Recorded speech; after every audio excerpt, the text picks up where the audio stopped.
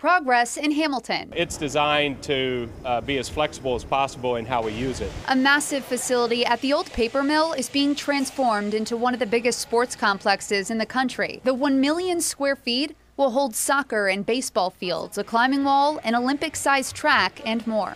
The other half of this building will be the 14 hardwood courts. Uh, and those will be used for all kinds of sports, primarily basketball, volleyball, futsal, uh, there could be some field hockey on it. The sports section of this event center gets a lot of credit, but this is going to be the conference area of this entire complex where they expect to have different events, even car shows, and it's going to be the second largest to the Duke Energy in this region. 233 hotel rooms will be available to the million visitors they expect to get every year. The impact for this city is expected to be huge. I think what is um, most exciting is how um, thrilled local businesses are about what's going to happen. The complex is less than a mile from the revitalization already going on in Hamilton's downtown.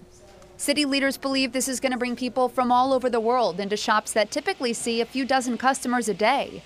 Not to mention the jobs directly at Spooky Nook Complex itself. I think it I think it diversifies our economy first and foremost. They have already hired their first employees and will be looking for many more as the year goes on. In Hamilton, Megan Mitchell, WLWT, News 5.